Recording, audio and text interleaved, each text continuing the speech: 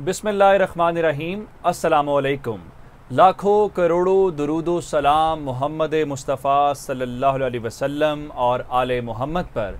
मैं हूँ उमर दराज गोंदल और आप मेरा यूट्यूब चैनल देख रहे हैं नाजरीन, आज सुबह का जब आगाज़ हुआ था तो अफ़गानिस्तान के अंदर एक शख्स था जिसका नाम अशरफ गनी था।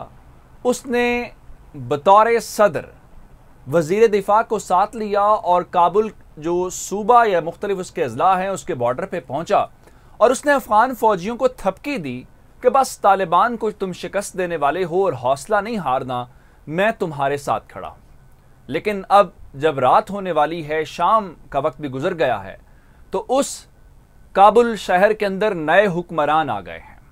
और उस सदारती महल से जहाँ पे निकला था अशरफ गनी, वहाँ पे इस वक्त तालिबान ने बाजाबता कंट्रोल संभाल लिया है। और तालिबान ने ऐलान किया है कि सदारती महल अब उनके कंट्रोल में है। आगे चलिए। वो काबुल शहर, जहाँ पे कहा यह गया था कि पता नहीं क्या कुछ होगा, एक गोली चले बगैर भी तालिबान ने फतह कर लिया है और उसके बाद तालिबान ने अपने लोगों को रोका कि आप शहर से बाहर रहेंगे। हम पुरम सियासी हल चाहते हैं। लेकिन जब लूटमार शुरू हुई तो तालिबान ने अपने बदरी यूनिट को कॉल कर ली। तो 20 साल के बाद आज काबुल शहर की सिक्योरिटी तालिबान के बदरी यूनिट के पास है। आगे इससे और खबर ले लीजिए। आज सुबह तक या कल तक जो एक अमेरिका ने बहुत बड़ा इलामिया जारी किया और बड़ी बातें की, अमरीकी सिफारत खाना जो गढ़ रहा है इस पूरे मामले का अफ़गानिस्तान के, वो बंद हो गया है।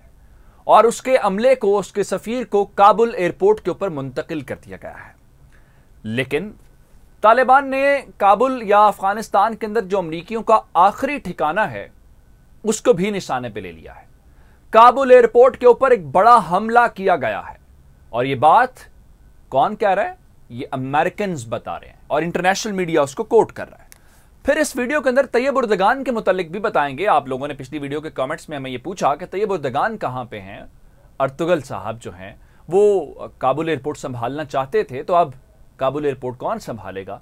इस सवाल का जवाब भी आपको दूँगा, क्योंकि बहुत अहम बयान तुर्की से आया। और फिर सदारती महल से एक बयान जारी होना है, जिसका इंतज़ार इस वक्त पूरा इंटरनेशनल मीडिया कर रहा है कि किस लम्हे सदारती महल से वो ऐलान हो, वो क्या ऐलान है, हम आपको बताएँगे। और फिर एक कोऑर्डिनेशन काउंसिल बनाई गई है, जो हामिद करजई, अब्दुल्ला अब्दुल्ला और हिकमत यार पे, गुलबदीन हिकमत यार पे मुश्तमिल है।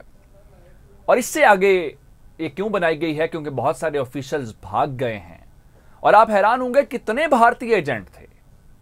यानी कंधार पुलिस का जो चीफ है, वो नई दिल्ली पे पहुँच गया है। क्यों पहुँच गया है? किसी और मुल्क में क्यों नहीं किया? और इसके अलावा आपको यह भी बताएँगे कि भारतीय पंजाब के जो वज़ीर आला कैप्टन अमरिंदर सिंह हैं, उन्होंने आज तालिबान की जीत के ऊपर बाकायदा रोना धोना किया है। बाकायदा रो पड़े हैं वो साहब। क्यों? ये भी बताना है आपको। और फिर वो कहते हैं कि शिकस्त हमेशा यतीम हुआ करती है। आज जिस, जहाँ से मैंने इंट्रो का स्टार्ट किया था कि जिस वज़ीर दिफा के साथ अशरफ गनी ने आज जनरल समी सादात के साथ खड़े होकर जो बातें की थी, जो वज़ीर दिफा है अफ़गानिस्तान का, आज उसने ही अशरफ गनी के ऊपर इल्ज़ाम लगाया। क्या इल्ज़ाम लगाया? बताऊँगा। अगर आपने अभी तक हमारा चैनल सब्सक्राइब नहीं किया तो आप कर लीजिए। अगर आप मुस्तनद खबरें चाहते हैं अफ़गानिस्तान के हवाले से या कोई भी दुनिया के अंदर बड़ी हैपनिंग हो तो फिर आपको ये चैनल सब्सक्राइब फौरी तौर पर कर लेना चाहिए और बेल आइकन के ऊपर क्लिक कर लीजिए ताकि हमारी आइंदा आने वाली वीडियोस बर वक्त आप तक पहुँच रहे नाजरीन 20 साल का सफ़र तय किया है तालिबान ने। बहुत सारी जानें जो हैं गई, बहुत नुकसान हुआ, अमरीकियों ने अपना सारा ज़ोर लगाया और क्या कुछ नहीं हुआ। लेकिन आज 15 अगस्त को इन्वर्टेड कॉमर्स के अंदर भारत के यौम आज़ादी के खास दिन के मौके के ऊपर। आज सदारती महल, जहाँ पे आज सुबह तक अशरफ गनी, अमरुल्ला साले और काबीना के लोग मौजूद थे, वो तालिबान के पास आ गया है और तालिबान के लोग इस वक्त सदारती महल के अंदर मौजूद हैं। और तालिबान ने एलामिया जारी करके बता दिया है कि सदारती महल अब अंडर कंट्रोल है तालिबान के और वहाँ पे तमाम एक्टिविटीज़ तालिबान खुद से हैंडल कर रहे हैं। और आज तालिबान ने सुबह सवेरे कहा था कि हम शहर को बजोर ताकत फतह नहीं करना चाहते। हम चाहते हैं कि एक सेटलमेंट हो, जिसके बाद शहर के अंदर लोगों को लगा तालिबान नहीं आएँगे और फौज वैसे भाग गई, पुलिस भी भाग गई तो लोगों ने लूट मार शुरू कर दी थी। तालिबान ने कहा, हम अमन के लिए आए हैं, हमने लूटना नहीं है। उसके बाद उन्होंने अपने खास यूनिट को, जो बदरी 313 यूनिट है, उसको बुलाया, और आज 20 साल के बाद उनके लोग जब दाखिल हुए हैं तो काबुल शहर, जो अफ़गानिस्तान का दारुल हुकूमत है, उसकी सिक्योरिटी तालिबान के लोगों के पास है। और बदरी यूनिट के लोग इस वक्त पूरे शहर के अंदर गश्त कर रहे हैं। लोगों को कह रहे हैं, घरों में रहें पुरम रहें अब कोई ऐसी बात नहीं और इसके अलावा लोग उनका वालहाना इस्तकबाल कर रहे हैं। हमने मुख्तलिफ़ शहरों में देखा, जिस तरह से अफगान फौज के ऊपर पत्थर फेंके गए और लोगों ने जो गलम गलोच की, वो अपनी जगह पे है। अच्छा अमरीकियों ने जो सफारत खाना बंद किया, मैंने तस्वीर के मुतालिक पिछली वीडियो में बात कर दी थी तो वो सफारत खाना बंद होने के बाद जो हेलीकॉप्टर उड़ा ना, वो काबुल एयरपोर्ट पहुँचा है। और काबुल एयरपोर्ट के ऊपर बहुत सारे यूरोपीय ममालिक ने और खासकर अमरीका ने अपना सफारत खाने का सेटअप लगाया और ये कहा कि जो लोग अमरीकी शहरी हैं, वो रजिस्टर करवाएँ ताकि उनको बाहिफाजत यहाँ से निकाला जा सके।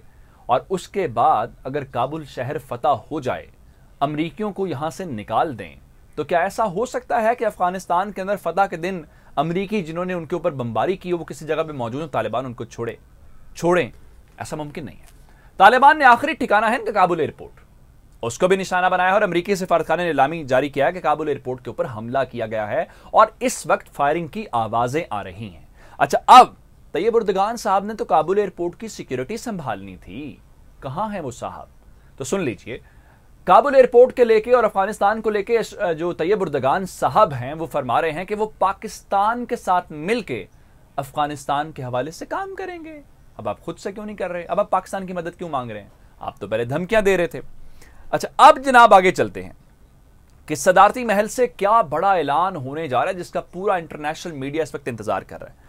आपको याद होगा कि आज ये तय हुआ था, हम भी आपको खबर दे चुके हैं कि जो ट्रांसफ़र ऑफ़ पावर है, वो होगा और ट्रांजिशनल गवर्नमेंट बनाई जाएगी। और जलाली साहब का नाम आया। लेकिन उसके अंदर यह कहा गया था कि ये तकरीब जो है, सदारती महल के अंदर होगी और अशरफ गनी उसमें पार्टिसिपेट करेगा। और उसके बाद अब्दुल्ला अब्दुल्ला और हामिद करजई तोहा जाएँगे, तालिबान के साथ बातचीत करेंगे।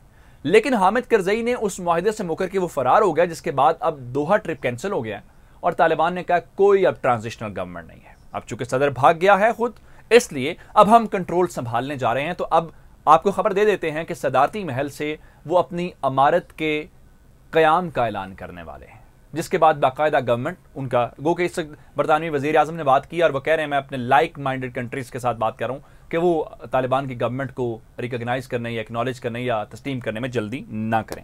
दूसरी जानब, चूँकि सारे ऑफिशियल्स भाग गए हैं गवर्नमेंट पूरी की पूरी भाग गई है तो हामिद करजई, अब्दुल्ला अब्दुल्ला और गुलबदीन हिकमत यार के ऊपर एक कोऑर्डिनेशन काउंसिल बना दी गई है ताकि वो एक पीसफुल जो ट्रांसफ़र ऑफ़ पावर है हो सके और तालिबान के साथ बात कर सके। और फिर पूरे मुल्क से जो एजेंट हैं इंडिया के रॉ के, जो इन्होंने डिप्लॉय किए थे पाकिस्तान के खिलाफ, वो भागना शुरू हुआ कंदार पुलिस चीफ का सरबरा कहाँ भाग गया भला?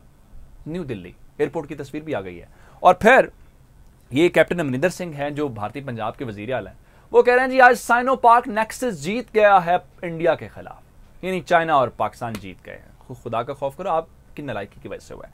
अच्छा जी, अफगान वज़ीर दिफा, जो आज सुबह तक तो अशरफ गनी के साथ थे, उन्होंने आज क्या कहा उन्होंने कहा, अशरफ गनी ने हमारे साथ ये किया कि हमारे हाथ हमारी कमर के पीछे बांधे हैं। हमारी कीमतें लगाई हैं। हमें बेचा है और फरार हो गया आज दिन के हवाले से हमने आपको अपडेट रखा है। ये अब तक की अपडेट्स ही मजीद भी बताएँगे। मुझे उमर दराज गुंदर को फेसबुक ट्विटर इंस्टाग्राम पर फॉलो कर सकते हैं। मेरा यूट्यूब चैनल सब्सक्राइब कीजिएगा। आपकी इस बातों को बहुत शुक्रिया। खुदा हाफिज़।